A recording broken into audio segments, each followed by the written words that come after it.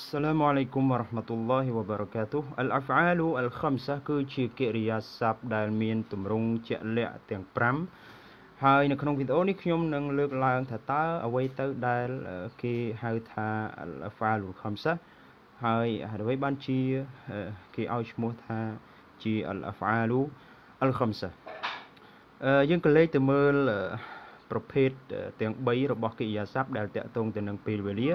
أقسام الفعل من حيث الزمان គឺមាន فعل الفعل الماضي ទី2 فعل الأمر ទី3គឺ فعل المضارع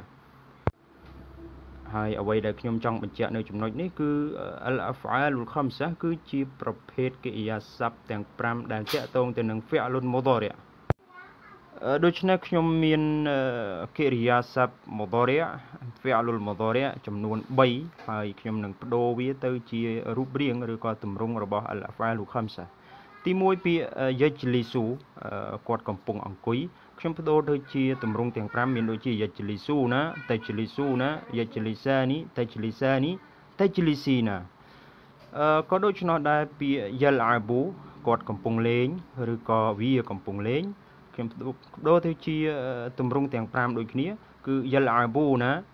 តលអាប៊ូណាយលអាបានីតលអាបានីតលអាប៊ីណាចឹងទម្រង់ទាំង5ស្រដៀងគ្នារូបរាងរបស់វាពាក្យយតខូលូគាត់ចូលឬក៏គាត់កំពុងចូលឬក៏វាក៏បានអឺខ្ញុំបដូរទៅជាទម្រង់ទាំង5របស់ al afalu al khamsa មានដូចជាយតខូលូណាតតខូលូណា yadkhulani tadkhulani tadkhulina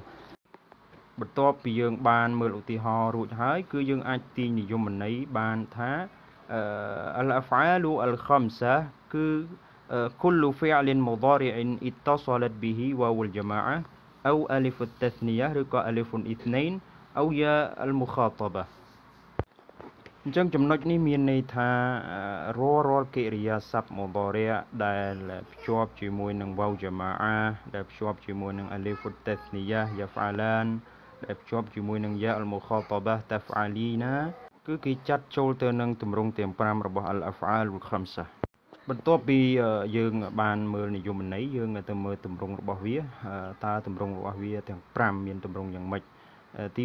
1ឡានី taf'alani yaf'aluna taf'aluna taf'alina អញ្ចឹងនេះគឺជាទម្រង់ទាំង5របស់ al-af'alu al-khamsa សង្ឃឹមថាវានឹងផ្ដល់ជាអត្ថប្រយោជន៍ក្នុងការរំលឹកនៅកវ៉ាអ៊ីតណាហ៊ូដល់